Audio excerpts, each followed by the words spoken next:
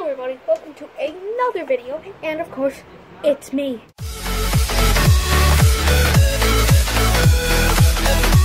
Today I will show you how to make a delicious drink. First you need a stylish glass, typically with flowers all around it. Then you need a couple of Joy Joy ice candy or whatever ice candy, but make sure it's fruit. Then what you need is and you need Coke. First, what I'll do is grab some scissors.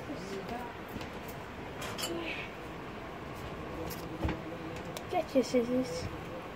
First, chop out. There we go. Now you got your other part.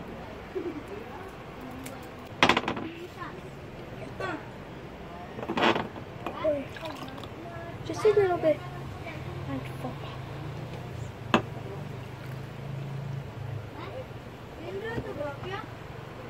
See, by this drink, by adding that.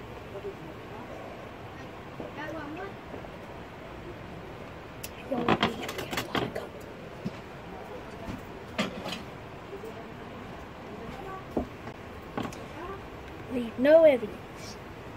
I you're doing the sport, trying to hide a body.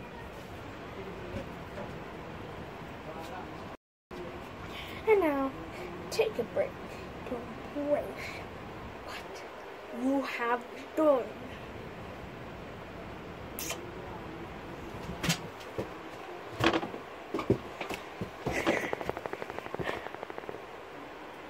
And there you have it. I just this drink. Just taste it.